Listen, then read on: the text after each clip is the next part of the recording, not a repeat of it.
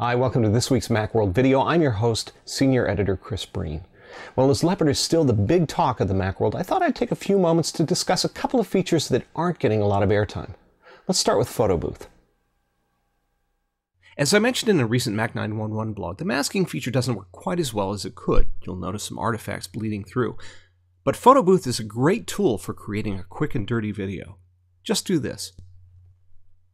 Click the video icon, and then click the normal setting in the middle of the window. Then click the record button and lights camera action. When the video is complete, you can click the email button to attach the video to a new mail message, or you can click iPhoto to move the video into your iPhoto library. Or you can just drag the video to the desktop to create a QuickTime movie. Note that Photo Booth videos have a lower frame rate than a capture from within QuickTime Pro, Photo Booth movies average between 10 and 20 frames per second, and contrast that to QuickTime Pro, where you'll capture around 24 frames per second or better.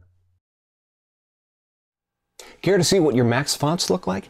There's a simple way to do it with Leopard's Font Book. Launch Font Book and select the fonts you want to preview. Choose Print from the File menu. In the Print dialog box that appears, you have the option to choose three views. The first is Catalog, which shows you an example of each typeface you select. The next is Repertoire, a view that displays each character the font offers. And then there's Waterfall, where you can view the fonts in a variety of sizes. A complete font catalog can run to hundreds of pages, so think twice before you actually print the thing. For many of us, a better way to go is to choose Save as PDF from the PDF menu at the bottom of the print dialog box. And finally, Time Machine provides a cool way to restore your photos from your iPhoto library. Open iPhoto and launch Time Machine.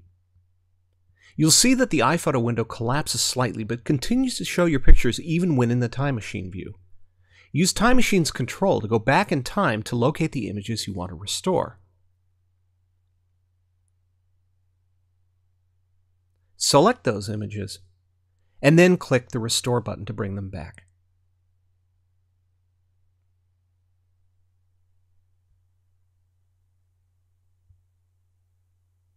iPhoto will import them and add them back to the catalog.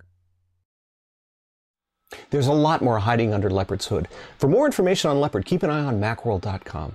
Thanks for joining me. See you around.